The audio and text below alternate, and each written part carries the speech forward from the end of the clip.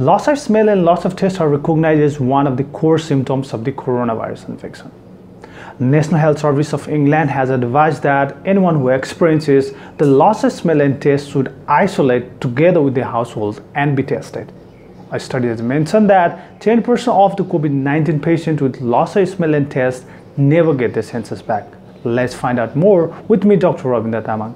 I'm very thankful for all the love and trust that have showed me if you're new here, don't forget to subscribe to my channel and keep watching.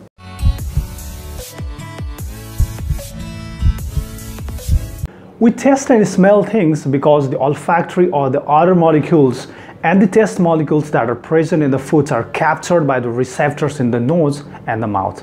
The receptors convey these signals to the respective nerves and then to the brain. It's in the brain where these smell and taste molecules signals are identified and made available in the different types of taste and smell we know.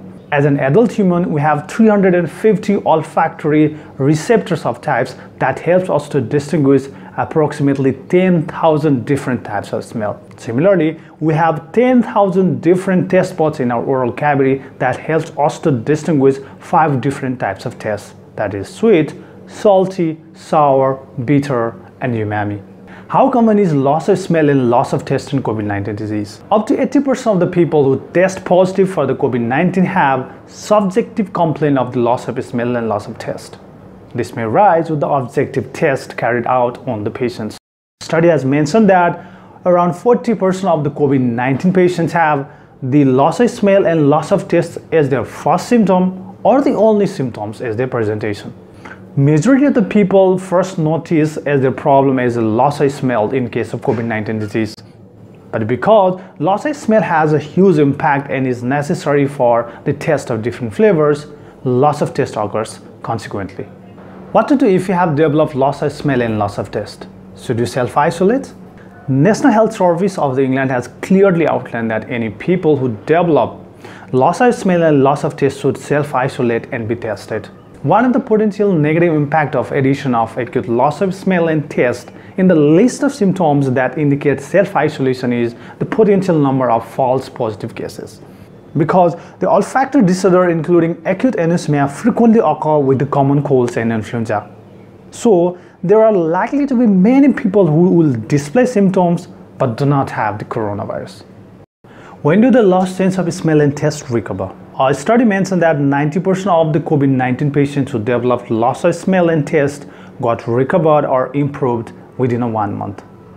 However, the loss of smell and taste may not come back. The duration for the recovery of the symptoms depends upon the severity and the damage done to the underlying nerves.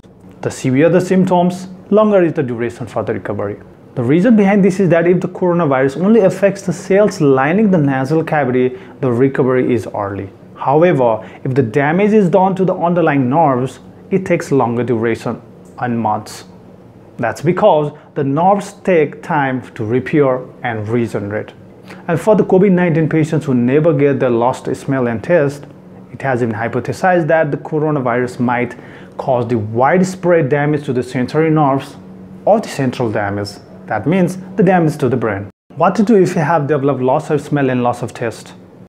The acute case of the loss of smell and loss of taste is because of the nasal congestion, nasal discharge and the nasal obstruction. So the treatment is aimed at decreasing the inflammation in the nasal cavity.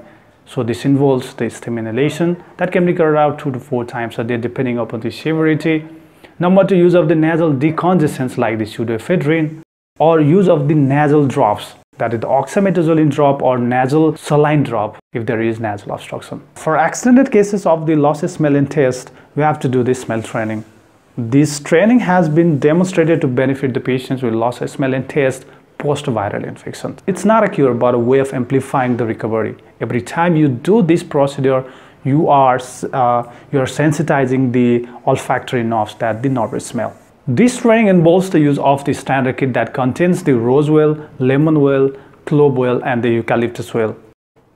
In the method we have to do is that we have to open a jar, sniff it for a 20 second, close the jar, take a few deep breaths, then move on to the next jar. During this procedure, it's important that you totally concentrate on what you're doing and think of the smell you would smell if you had the sense of smell.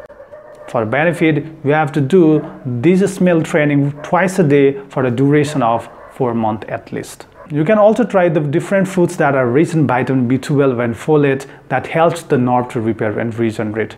This includes the fish, meat, poultry, milk and milk products. I hope you liked the video. If you want more such video, don't forget to subscribe to my channel and hit the bell button to get notified every time I post a video.